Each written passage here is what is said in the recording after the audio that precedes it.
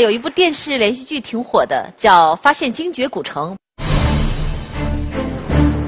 说是有一座传说中的古城，然后在考古学者和摸金校尉后人的带领下，在那儿发现了鬼洞族、精绝女王一些神秘的文字和咒语等等。这都是想象出来的故事，对吧？可是，在我们即将分享的这本书中，我们所听到的这些故事，全部都是真真实实发生过的。这本书的书名就叫做《发现时髦古城》。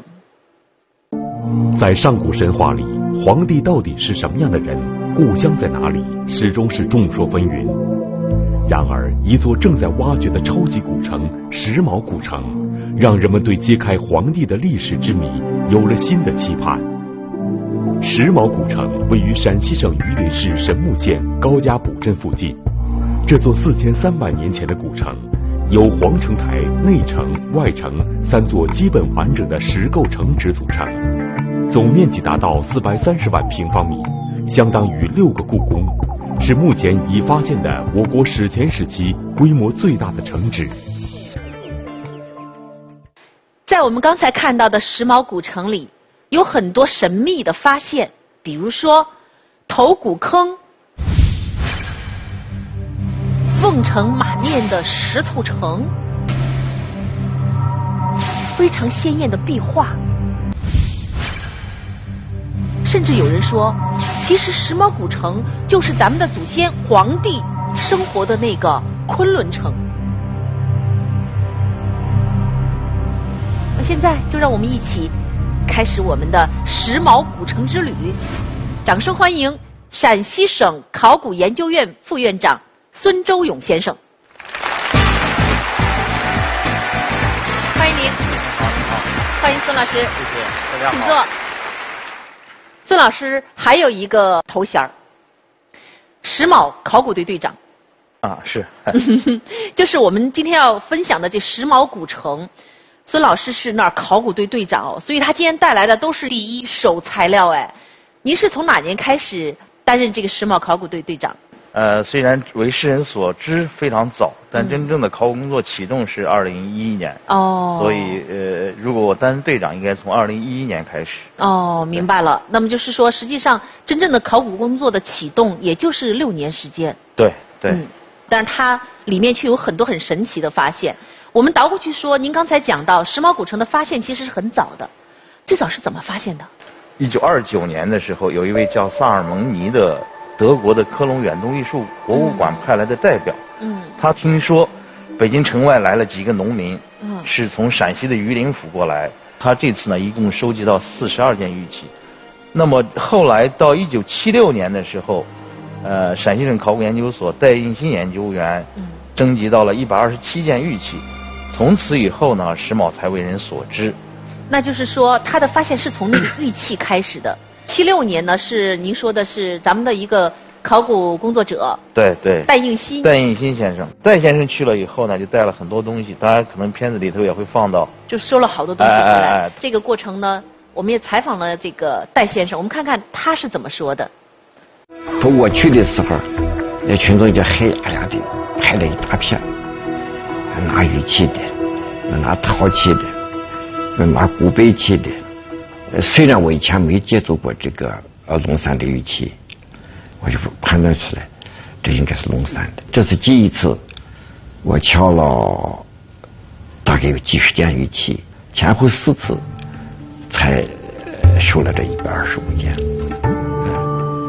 这个呢，呃，玉人呢也是老兄配着准备卖的，发现了这个东西，哎，不错，哎、这个小玉人儿很重要吗？非常重要。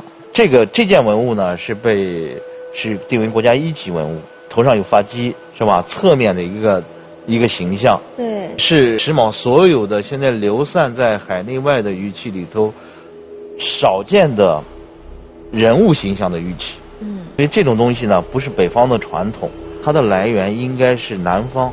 你比如说，石马还发现了鳄鱼的骨板，嗯。就是鳄鱼，我们在黄河流域的黄河的几字大拐弯的内侧，怎么会出现扬子鳄的骨板呢？嗯。是不是让人觉得很吃惊？很惊讶，啊。就像在三星堆还出土那么大的象牙，是是是，在四川，你想想，是是，它显然是从南方交流过来的，嗯。因为它要它要蒙鳄鱼皮来蒙古，来做驼骨，所以其实文化的交流能力远远超乎我们的想象，超出我们的想象。它能打破时空的这种是是，而且它互相之间有有影响，嗯。哎，石峁遗址在零六年的时候被列入了国家重点文物保护单位，嗯。开始了对这次遗址的大规模的调查和发掘，嗯。主要是前期的调查。但调查的结果呢，谁都没有想到，这是一次石破天惊的发现。呃，我想在中国早期的文明史上，呃，这个遗址是绝无仅有的。最震惊的一个发现，就是在石峁发现了一座大的石头古城。对，这个城址呢被确认大概有四百万多平方米。嗯，四百万平方米什么概念？四百万平方米呢，呃，相当呃像六十个足球场六十个足球场那么大啊啊啊啊！它全是这样是吗？是全是用石头垒起来的。是石头中间是用什么来给它粘合粘合起来的呢？所有的石头呢，都是还是比较相当讲究，就是朝外的一面呢，石头全部经过打磨加工，嗯朝里的一侧呢，稍微是呃就是保持原来砍砸下来的形状。哎，石头和之石头之间呢，以这个草拌泥，就是泥土和草混加起来，也许呢还有其他的呃添加物来增加它的粘结度。啊，因为我们也尝试做了一些修复，嗯我们发现我们用现在的配方所做的石头和之间的粘合呢，呃，经历不了太久的雨水的冲刷，而四千多年前古人的这个垒的这个石墙呢，在我们发掘的四五年之内呢，四五年这个期间呢，仍然保存的相当好，所以这个很神奇。很神奇。就当时他们用的是什么粘合剂，是是能够保存这么几千年，是历经几千年。是而且呢，就是你看这个石头垒的这个城墙，在墙里发现了很多玉。是，非常偶然，在一天下午，也是雨过天晴之后，然后我们上去巡查的时候呢，就突然发现了，哎，露出来，因为这个墙已经暴露了三年时间，嗯。在之前呢，我也是考古工作者一刷子一刷子刷过去的，因为它那个土呢缝隙没有冲刷掉之前呢，这块玉器没有暴露出来，哦，哎，有没有推测，他们为什么，我就我们的祖先为什么要在石墙里面把玉砌进去？究竟为什么会在石构的建筑本体里头藏玉？到我们现在来说，也仍然不好理解哈。我们现在仍然是奢侈品，仍然玉器很珍贵的东西，为什么要把把它像建筑材料一样藏在石头里头呢？嗯呃，我想呢，有两种可能。嗯石峁的玉器玉质特别特别五色斑斓，特别杂，也就是说它的来源是多样性的。嗯作为一个区域性的呃政体中心，也就是说一个强权呃一个政治中心，很可能是八方来朝嗯。啊是大家来共富的东西，然后呢又被埋藏在它具有象征意义的呃东门或者皇城台这样的比较核心象征权力、象征威严的这种建筑里头。呃，其最终的目的呢是增加这个城址的呃这个神秘性、宗教性。嗯。哎，通过这样一种形式呢，构建石峁的上层，也就是统治者的一种构建他的精神上的一种屏障。嗯哎，石峁古城里发现的东西啊，呃，除了像藏玉于墙这种这种现象之外，还有一个是让我们觉得很震惊的，就是在那儿发现了壁画，而且距今四千多年的那壁画还是很鲜艳，啊，有一段视频可以让我们看到。二零一二年，石峁遗址初步发掘时，考古队曾经在外城东门遗址发现，在龙山晚期墙体上绘制的一些壁画。二零一三年出土的这几处壁画，与二零一二年发现的壁画时代完全吻合。令考古队员惊讶不已的是，这些壁画已经使用了起稿线。这个壁画呢，它大部分已经从它的墙体上脱落了，已经脱落下来，有一部分掉下来的墙皮还在。呃，但是呢，这个我们看到它的图案呢是比较原始，就几何型的、曲尺型的图案，几何图案为主。主要有黄色、红色、褐色、嗯绿色等。经过初步的鉴定呢，呃，它都是矿物质颜料。嗯但是从它的绘制技法上来说呢，它已经开创了中国壁画的艺术的源头。他使用了软笔来勾画线条，啊，并且软笔软笔，哎，啊就相当于后代的毛笔一样。哦哎，然后呢，他也有了做底稿线，就打草稿的这种意识。嗯一般认为呢，这种做法呢是在中国的汉唐的壁画里头，壁画木或者其他的保留下来的壁画艺术里头才有的这种现象。那么从他的创作呃这个技法上来说的话，也是具有开创性另外呢，它的这个壁画呢，是目前为止中国发现体量最大的一批史前壁画。史前壁画。啊，史前壁画。啊。因为它已经总面呃有三百多块，总面积在数平方米，体量大，体量大。而且就是应该可以说是咱们中国的这个壁画的一个源头。呃，它不是年代中国壁画最早的，嗯但是在四千年前后，它应该是呃最大的一批呃美术史上的重要考古发现。我想这个中国美术史上肯定将来绕不过这一笔，这个是呃也可以说在从中国艺术史上是一个呃绝无仅有的重大发现。嗯嗯，所以这绝对是一种艺术的设计。是是是，这个壁画的话，因为年代久远，已经是四千多年前的了，所以修复工作也挺不容易的。挺不容易的，挺不容易的。啊，我们看一段这个视频，来看看这个壁画是怎么修复的。考古队员将一种专用的药水涂到尚在泥土表层的壁画上，然后轻轻揭取，运回陕西省考古研究院精卫基地，进一步清理、拼接、修复。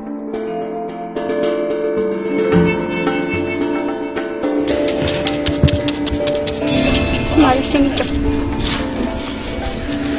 好，来来来来，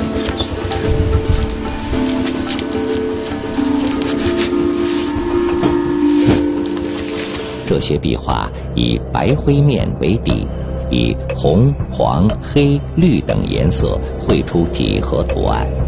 最大的一块约三十厘米见方，这是龙山时期的遗址中发现壁画数量最多的一次。几何图案是当时北方地区一种流行图案。那么，绘制这些壁画使用的颜料，为什么经历了四千多年后依然十分鲜艳？为什么呢？它的颜料用的是什么颜料？呃为什么都是能够历经这么几千年，是是。还可以很鲜艳？呃，它不像现在我们的化学颜料都是矿物质颜料，嗯比如我们也发现有些像类似于赤铁是赤铁矿，就是可以做那种、呃呃红褐色的这种颜料啊，哦基本上都是呃一些矿物，哎构成的颜色，呃，所以它基本是用的是矿物颜哎，料。比如绿色就是一种绿泥土，嗯绿泥。当然，有些原料呢，我们现在还按照现在的我们对它的认识呢，本地不产，本地没有，本地没有可能还是从从外输入过来的。哦啊啊，所以这里面也是还藏着好多未解之谜。好多未解之谜，对、啊对。还有一个呃特别惊人的未解之谜哈，就是呃，我先不揭这个底儿，我们看一下这是什么。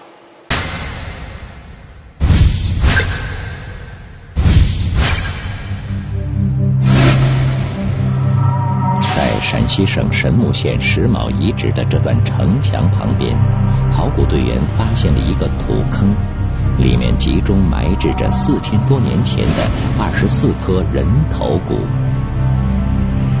令人费解的是，人头骨坑里却没有发现死者身体其他部位的骨头。那么，远古的石峁城究竟发生了什么？是饥荒、灾害、疾病，还是战争，为后世留下了这样的人头骨坑？这些死者来自哪里？土坑里的人头骨数量为什么恰好是二十四颗？他们的头骨被埋在这里，其他部位的骨头又在哪里呢？我们去之前呢，呃，当地老乡就给我们讲，呃，这个这个地方有很多骨饰啊，他们陕北话，我们陕北话叫骨饰，就是骨头。嗯，发现是集中埋藏的人的头头颅，嗯，哎，身体的其他部位不知道在哪身体的经过科学发掘的身体其他部位还没见到，嗯。只是发现了头颅。类似于这样的头骨坑，嗯。这样一共发大概发现七处，发现七处，发现七处。每一处有多少颗？就是最先我们发现的这两个头骨坑呢，恰恰都是二十四个，二十四每一个头骨坑都是二十四个，这个让我们很容易去产生联想嗯啊。这个为什么是二十四？二十四我们知道这是一个四节气哎，是不是跟节气法有关？其中埋藏的人的头头颅，嗯哎，他们是什么人？他们是自己部落的人，还是外头的俘虏？嗯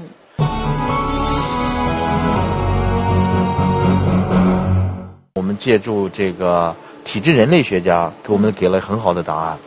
他们初步鉴定，嗯就是这些被杀掉的第一个头骨坑里头的，做了一个测学科学的分析，嗯就是从他的呃颅骨的体质特征来分析。是呃什么人？是我们做了两样分析，嗯一个是先就是最基本的观察，观察的结果是这些人大部分以未成年的少女居多，哦啊，都是青年人居多，而且是女性居多，哦。而且他的头颅呢是被呃锐器砍砸下来的，就是被生生的砍下来的，它是非正常的死亡。那么另外一个呢，就是有一部分头颅的枕骨部位还有被烧灼的痕迹，嗯。哎，另外一个科学分析呢是就是它的丝同位素，就是我们做这些人骨头里头的，呃，能够代表它的实呃实性结构的这种成分分析，丝，哎，丝这种化学元素的分析，嗯。把它分析的结果呢，是我们发现被杀掉的这批人呢，和我们发现的呃墓葬里头的人，我们传统意义上可以认为那些埋葬在石峁遗址里头的人，因为他有随葬品，有有生前的财富，就是贵这些人应该是主人，主人最少嗯。这两类人的骨头呢，做一个化学成分的去分析，分析以后呢，发现他们有很大的偏离值，他们不属于他们的实性结构是不一样的，嗯也就是说这些是外族人，他哦可能被俘虏过来杀掉的，啊，是这样一个概念。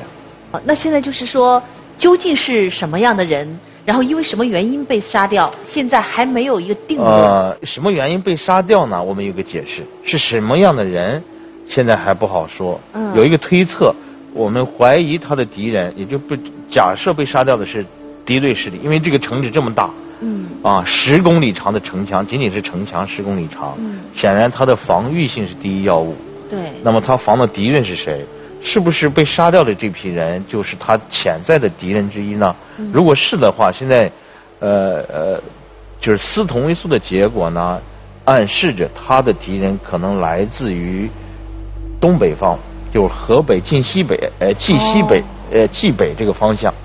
哦，那就有可能是异族入侵或者是怎么样。总之是杀掉的是敌人 杀掉是敌人，对。啊。这个石头古城里面，就像类似这样的这个未解之谜挺多的。还有一个最大的未解之谜，就是说这个古城里面的这个皇城台，对，它是不是就预示着咱们这古城就是我们的，我们是炎黄子孙嘛，就是皇帝，传说中皇帝居住的这个他的这个城址，是吗？中间一个区域，呃，那个没标出来，那个应该是皇城台，就是它是一个，呃，我们看是半括弧状的两道墙，整个将中间围起来那个地方呢，是一个，呃，那边一面临沟的一个相对独立的一个大台体。如果形象的让我来说的话，我想它就是相当于中国的金字塔。中国的金字塔啊，啊台顶呢是一个八万平方米比较平整的一个台地。我们现在看到这个区域呢它的它是一个台子，高出地面的。它是一个自然山卯，但是嗯卯的顶部呢相对比较平整，嗯，这个平顶有顶上有八万平八万平平米。嗯然后最为奇特的是呢，就是它这个台子的周边呢是拿石头砌的城墙，一节一节给它包裹起来的。嗯。就这次零比一节一节一节这样错上去，往台顶去，那么这样往下，一共大概哦有九到十一节，整个绕着它的一周一周这样旋转上去，旋转哎。整整整有十一十一层，九到十一层，九到十一层哎，啊，也就是说它已经是呃固若金汤，嗯。庄严巍峨。它本身是一个土山，但周边呢，它把山体削削垂直，然后拿石头一米多、一米一米多厚的石墙给它砌起来，啊，然后再有一个小平台再砌，整个全部周围全部是这样的结构。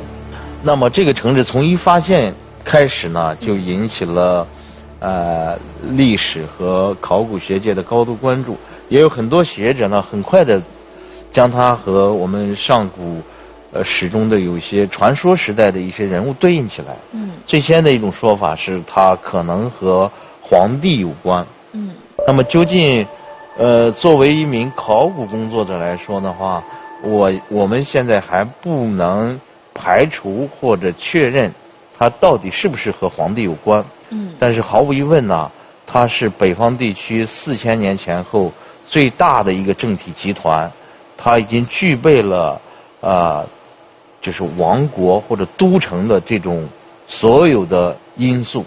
我想呃听听您个人的看法，您觉得它跟它是不是皇城台？皇城台就皇帝的，对这个，作为我来说的话，我我也有很多的疑惑，就是当地这个老百姓呢，在这个地方没写过这个名字，村民只是这个村子也没不叫皇城台，它的旁边的我们叫石卯呢，是因为旁边最近的一个行政村叫石卯村，哦，所以遗址得名呢是根据这个村子来的，究竟是黄色的黄还是皇帝的皇？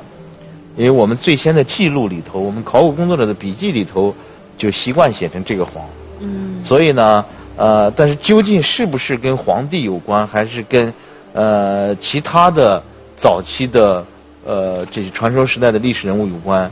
呃，我觉得还是稍微慎重一点好。我们期待将来石卯有实证性的、内证性的资料发现的时候呢，呃，我们来谈它到底是哪一个部族、哪一个传我们三皇五帝里头的哪一位啊，可能更合适一些。所以这都有待于更新的考古发现，更新的考古资料，啊，就更多的证据我我相信石卯应该是有文字的，只是我们现在还没有发现。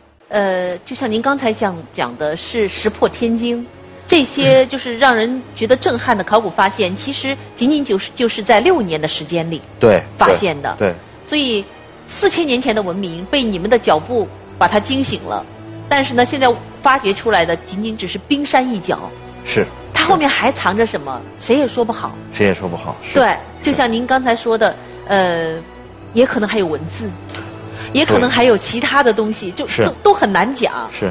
但是我们期待着，期待着您能带领我们的考古队员能够有更多的发现，让我们真正的破解石卯古城那些未解之谜。谢谢孙队的分享，谢谢孙院长，谢谢。也谢谢我们现场观众朋友们。今天节目就到此结束，再见。